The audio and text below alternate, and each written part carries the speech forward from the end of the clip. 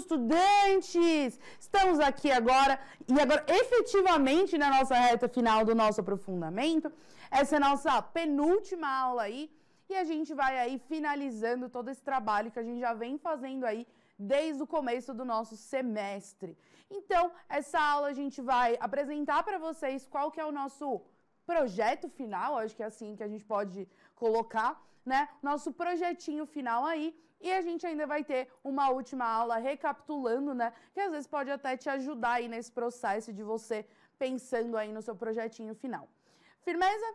Pra gente começar, vamos sem passar aquele lugar onde estamos, de onde viemos, quem nós somos, que é né, o resumo da onde nós estamos. Então vai aparecer para vocês aí na tela, né? O nosso aprofundamento é o Superar Desafios é de Humanas. A nossa unidade curricular é no mundo, tudo está interligado. E o nosso componente é o Cultura e Sociedade. A gente está na atividade número 5 e essa aula é o estudo do meio, tá? Como vocês sabem, no começo sempre tem o resuminho do componente, sempre tem as nossas habilidades dos eixos estruturantes, que é a investigação científica e os processos criativos, assim como as habilidades específicas das ciências humanas e sociais aplicadas. E é isso, tá? Então, vamos começar efetivamente a nossa aula. E aí, antes da gente vamos dizer, ir para o planejamento aí do nosso estudo de caso, a ideia é que eu explique um pouco qual é a ideia do nosso fechamento, então. É, nós vamos encerrar, então, esse bimestre, esse semestre, no caso, não é bimestre, não, eu tô, ó, tá vendo? Nem eu tô, tô ainda habituada, né, com os aprofundamentos. Então, a gente vai fechar o nosso semestre agora. A gente tem aí a proposta de um trabalho para você finalizar tudo isso que você é, construiu do começo do semestre até agora, que a gente construiu junto e tal, que é o estudo do meio.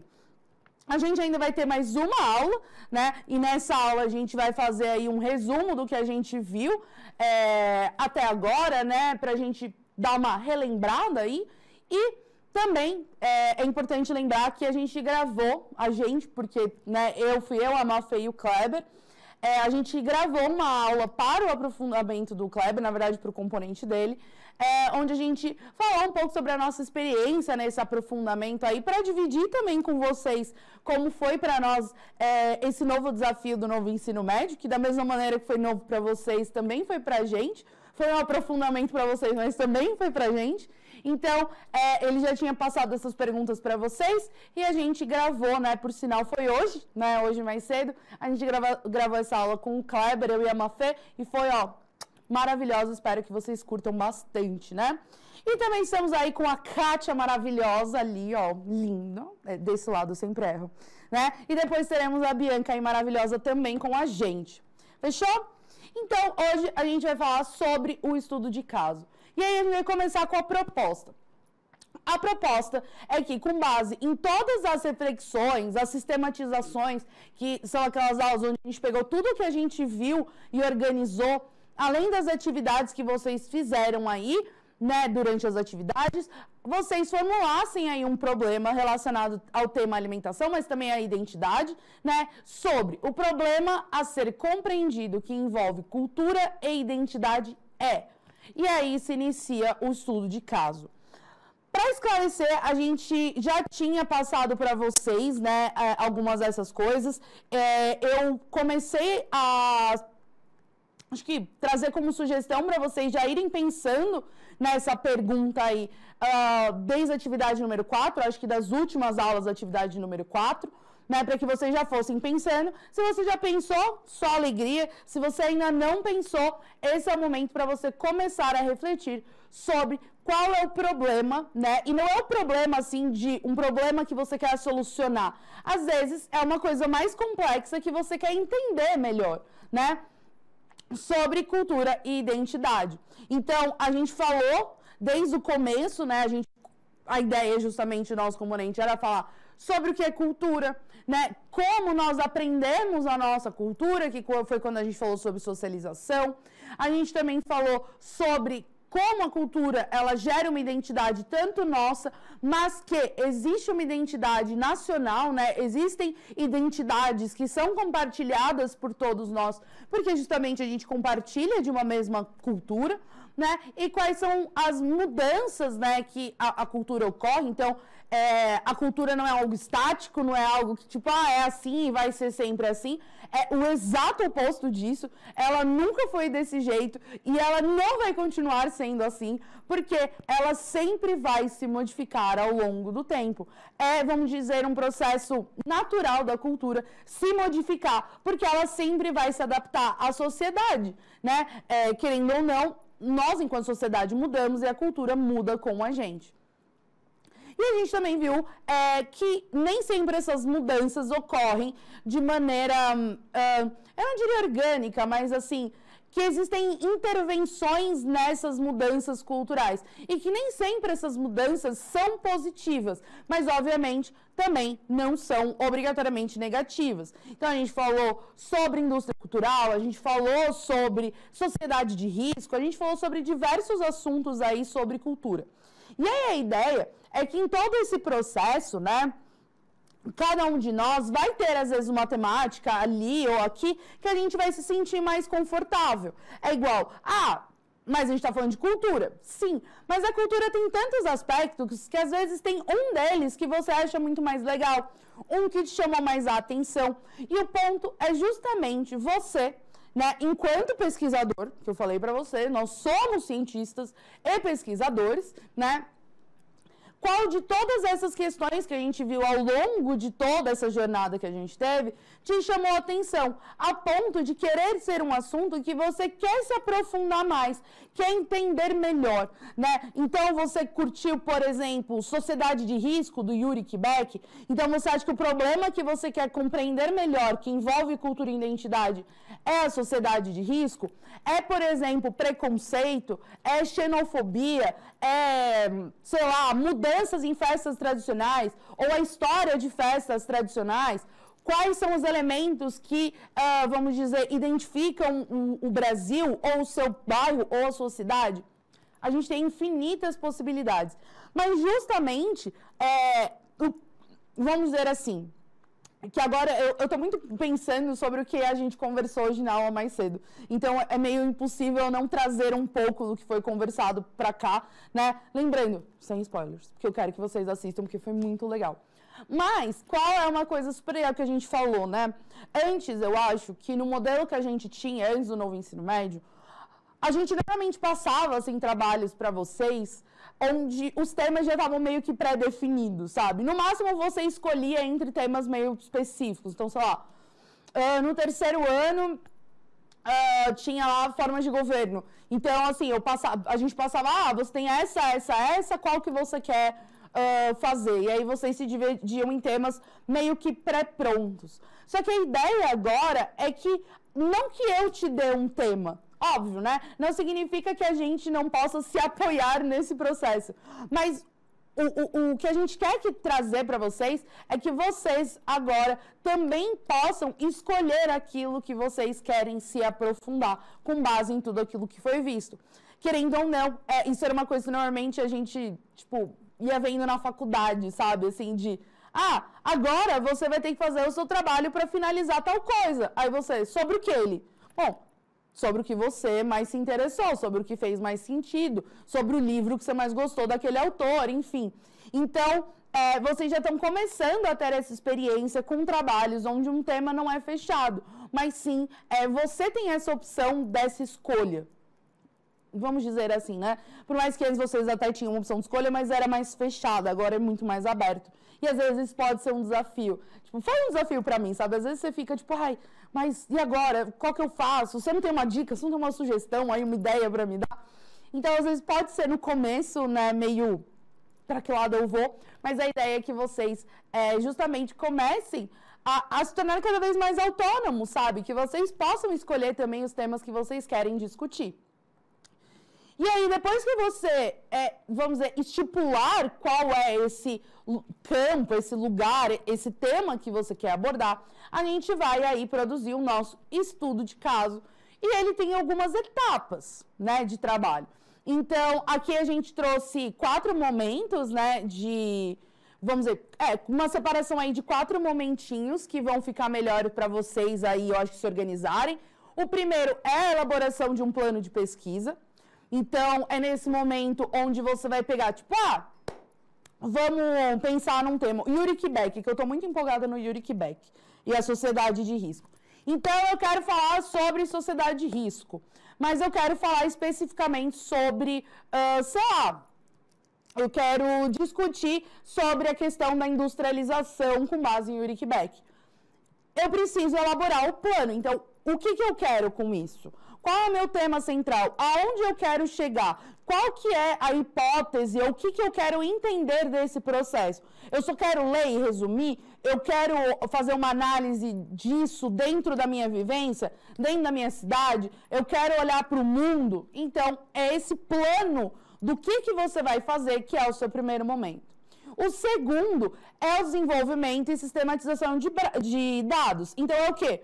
Mão na massa o que, que eu preciso para chegar a esse objetivo final. O que, que eu vou ler? Então, assim, as coisas que eu li, eu vou fazer entrevista, então aqui é o momento que eu vou lá, é, vamos dizer, entre em contato com as pessoas, faço a entrevista, é, pesquiso os dados que eu quero, você pega tudo, né? Então, esse é o processo tanto da mão na massa, quanto o processo de você depois pegar todas essas informações que você concluiu, né? Tudo aquilo que.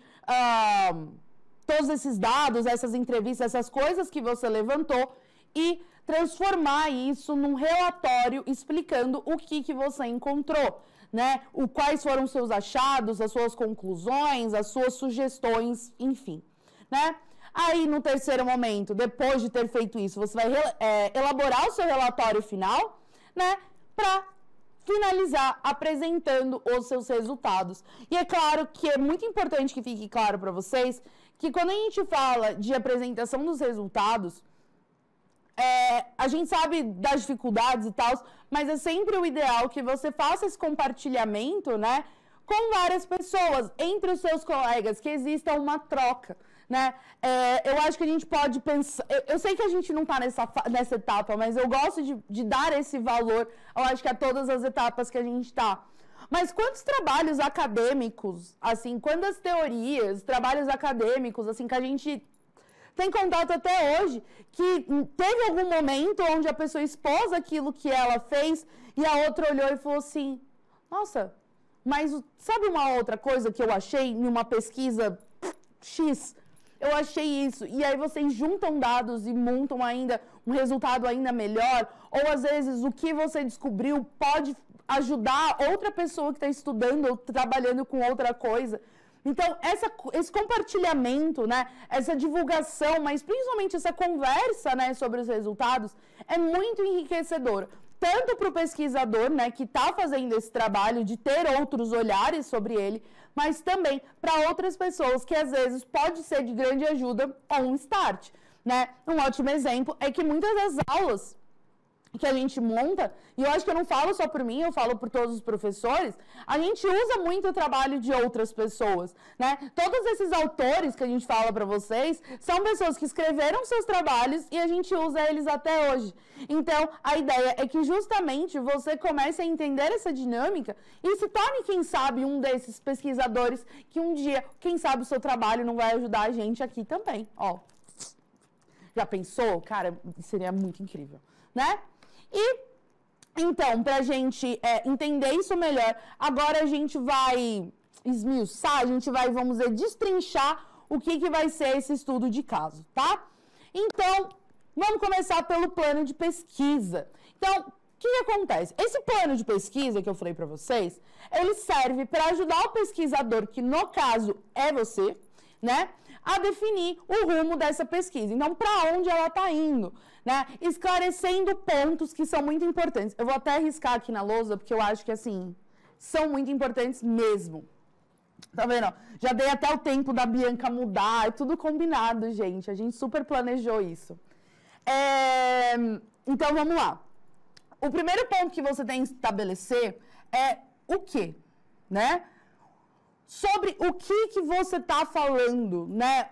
O, qual é o seu tema, qual que é a sua hipótese, qual que é o problema que você escolheu, né? Como você vai fazer isso? Então, esse como é muito amplo. Por exemplo, eu quero fazer uma pesquisa sobre, é, por exemplo, cultura de massa em relação à cultura que a gente tem. Então, eu quero falar com jovens, né, adolescentes, sobre como eles enxergam o que é cultura brasileira para uma pessoa mais nova, adolescente. Nesse como, eu vou ter que esmiuçar o quê? Eu quero fazer uma entrevista com, com um número X de jovens, eles precisam ter idade entre tantos e tantos anos, e isso, aí você vai falar, professora, mas precisa disso.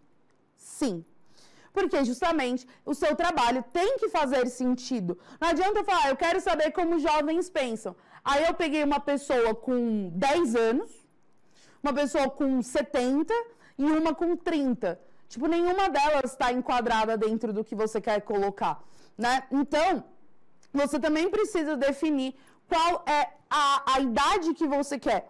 Ah, você quer pesquisar com gente de todas as idades. Tudo bem. Não adianta você pegar 10 adolescentes, um adulto e duas crianças. Também você não está pegando, você não está tendo resultados tão é, fiéis. Em qual sentido? Por exemplo, eu sou uma pessoa adulta, você vem em minha entrevista. Eu vou te falar a minha opinião. Só que você não tem nenhum outro comparativo com outras pessoas dentro da minha média de idade, vamos colocar assim, para você comparar. Se tipo, olha, as pessoas dentro dessa faixa etária compartilham tal, tal, tal visão, mas se diferenciam nesse ponto. Você precisa também de um número maior de pessoas. Ou, por exemplo, você não quer fazer uma entrevista. Aliás, só mais um ponto importante da entrevista. Dois, na verdade. O primeiro é perguntas, elas têm que ser padronizadas para todo mundo a mesma pergunta tem que ser feita para todas as pessoas. Porque se você fala, ai, eu não anotei as perguntas, tá só na minha cabeça. Gente, cabeça falha muito, tá? Eu, é o que eu falo para vocês. Tem várias vezes que eu fico aqui, ai menino, qual é a palavra? Ah, esqueci. É isso, a gente não pode confiar o tempo todo que a gente vai lembrar exatamente das coisas. Às vezes, na hora do nervoso, na pressa, a gente esquece. Então, anotem as perguntas, façam perguntas padronizadas, porque se você tem que comparar a resposta, você tem que comparar a resposta de uma mesma pergunta, né? E sempre escreva as respostas ou grave, tipo, pega o celular ou um gravador de voz, grave o que as pessoas estão falando. Claro, pede autorização para elas. Você também não pode gravar pessoas sem que elas estejam sabendo ou que elas aceitem serem gravadas, né?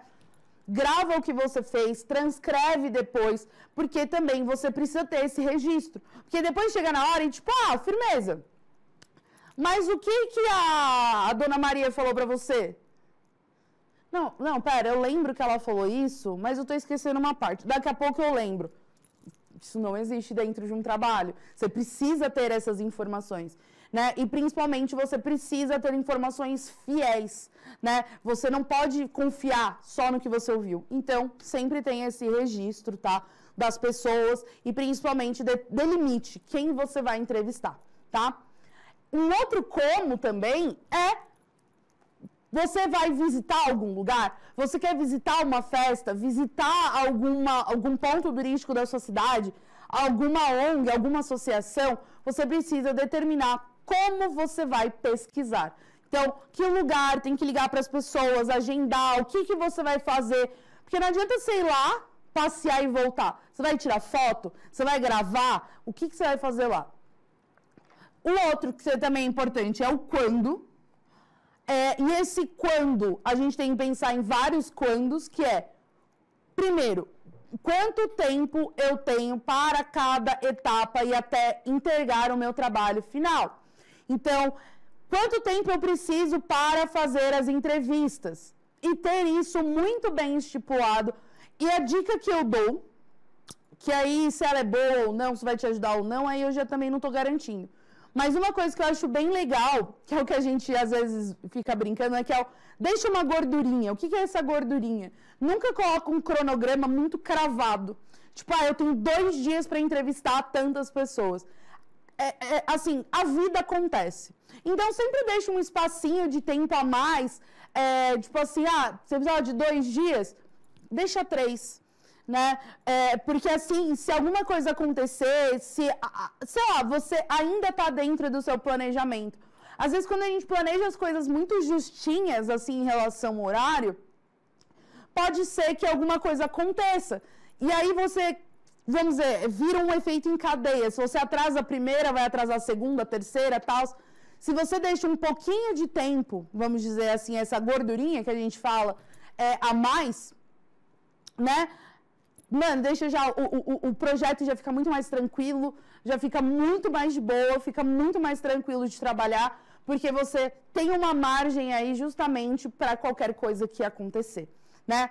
E é importante ter isso, porque eu, eu me coloco no seu lugar.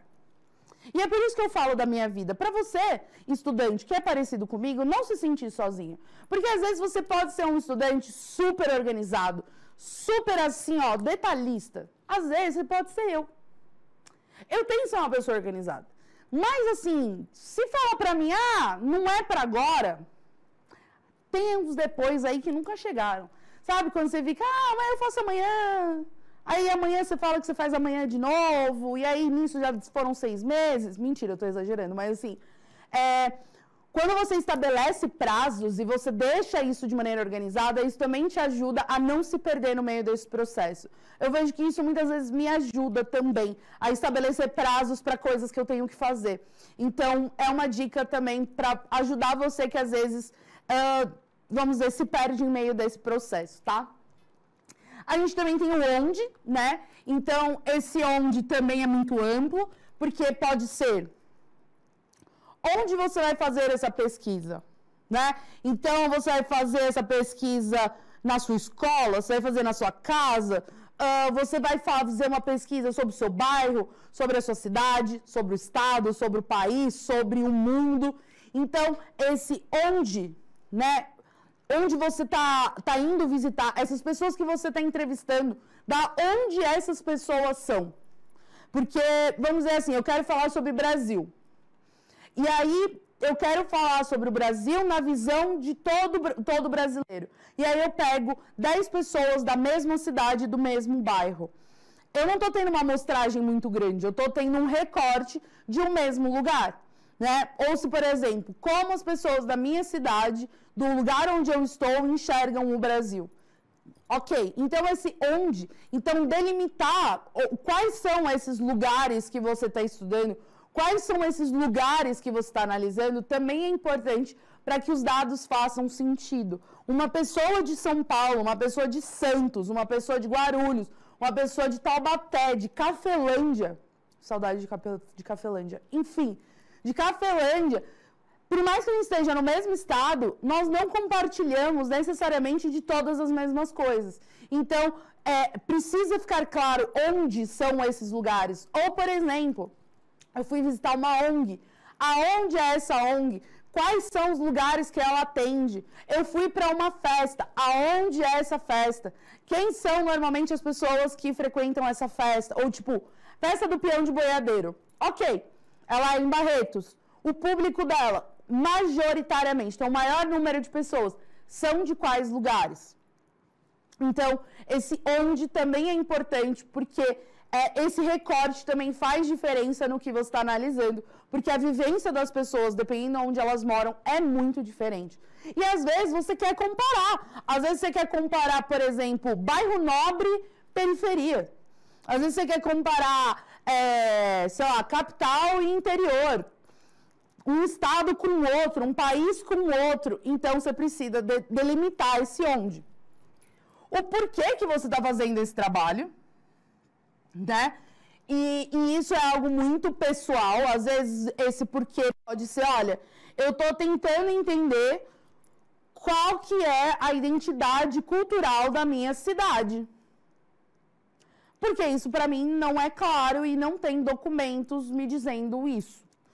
Uh, eu quero saber como que uh, as pessoas da minha cidade enxergam outras, uh, outros estados. Então, como as pessoas do estado de São Paulo ou da minha cidade enxergam a identidade cultural de outros estados, de outros países. Comparar, é, por exemplo, pessoas. É, eu quero saber se pessoas mais velhas e pessoas mais novas é, enxergam a identidade brasileira como a mesma coisa, ou se existe diferença de uma geração para outra na hora de descrever o Brasil, enfim. E tudo isso tem que ser preparado antes da pesquisa ser iniciada. É meio que um mapa do que você vai fazer. E aí, é, nele você vai trazer tudo isso, vai levantar as questões, as hipóteses que você formulou, é, as coisas que você quer testar, os objetivos que você quer alcançar, tudo isso, né? E vai descrever um método que você vai utilizar. Então, você vai entrevistar, vai visitar, vai só ler o que, que você vai fazer, cronograma e tudo mais. E nesse ponto, você começa a já entender sobre quais assuntos você ou seu grupo gosta de pensar, refletir, tem familiaridade e interesse em abordar. O principal benefício de você fazer um estudo do meio, um estudo de caso, uh, de você fazer uma pesquisa, é justamente o fato de que você tem a liberdade da escolha, né? Quais habilidades ou áreas de conhecimento que vocês têm melhor domínio ou mais facilidade? Uh, pensando em termos de mundo, sociedade, vida, né? O que, que vocês gostariam de melhorar ou resolver? Às vezes são perguntas que ajudam a entender tipo, os porquês, sabe? O porquê que você chegou nesse ponto. E aí, a gente tem a estruturação aqui, que é a elaboração do plano de pesquisa, e nele você tem que produzir as anotações, anote tudo. Ah, eu não sei se eu devo escrever. Escreve. Ah, escreve. Mas escreve tudo. Tudo, tudo, tudo, tudo. Ah, eu pensei, escreve. Sempre tenha registro. Porque esses tipos de trabalho, você tem que provar aquilo que você está falando. E se você não tem registro, você não consegue provar. Né? Você não consegue é, fazer com que a pessoa entenda, porque você não tem subsídio para isso. Então, anota tudo, tire fotografias, vídeos, provas visuais, né? Faça o levantamento do perfil das pessoas que vão ser entrevistadas, né? Os espaços a serem observados, faz tudo isso antes. Faça o seu caderno de campo, que é a parte mais importante, porque é o registro de tudo que aconteceu, tipo, todos os dados, tudo que vocês é, realizaram nesse trabalho, para depois ir para campo. E nesse momento é onde vocês realmente vão ali é, ver o que está acontecendo, entrevistar pessoas, conhecer lugares, tirar fotos, vídeos, para que depois de tudo isso vocês peguem todas essas informações e criem um resultado aí. Então, vocês podem uh, escrever um relatório, vocês podem fazer uma apresentação, tipo um PowerPoint assim. Vocês podem escrever um relatório. Tem tantas coisas que vocês podem é, fazer para sistematizar: tabelas, comparativos, infográficos, mapas, infinidade de coisas, né? E o compartilhamento dos registros, que aí é a maneira que vocês vão, enquanto grupo aí, decidir que vocês vão é, apresentar para as pessoas. A gente está nos minutos finais e eu queria só dar uma dica para vocês que é assim. Eu sugiro vocês é, baixarem o PPT da aula, por quê?